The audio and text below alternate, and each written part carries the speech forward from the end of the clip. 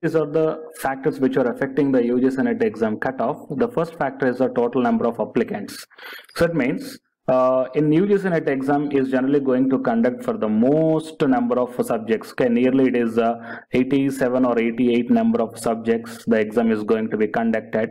So for each and every subject, if the more number of applicants are there, then there is a chance to uh, reduce your cutoff okay? So it is the thing that if the more number of applicants are there then your cutoff will be reduced. Then the second factor is maximum marks scored by the candidate. That means if out of the 100 mark in your subject if anybody scores the 85 marks is then that is the maximum marks then obviously the cutoff marks will be increased okay? That means your cutoff will obviously depends upon the maximum marks scored by the candidate. So if the maximum marks scored by the candidate out of the 100 if it is 60 then the cutoff decreases. If out of the 100 if the maximum marks scored by the candidate is 80 marks then the cutoff may increase. Okay? So, and the third factor is the difficulty level of the exam.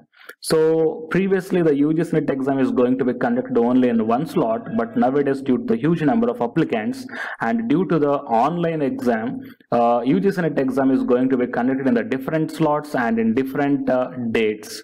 So the difficulty level of the exam may changes. That means while coming to the morning slot, the difficulty may be very, I mean, the level of the exam may be easy and while coming to the afternoon slot, the level of the exam may be moderate or difficult. So here, depending upon the difficultiness of the exam, that means whatever the slot you allotted for the UGC NET exam, if that slot uh, is a difficulty level, then your cutoff marks will be reduced uh, definitely. There is one formula is there and the fourth category is mean the fourth factor is a category of uh, students that means depending upon the caste category.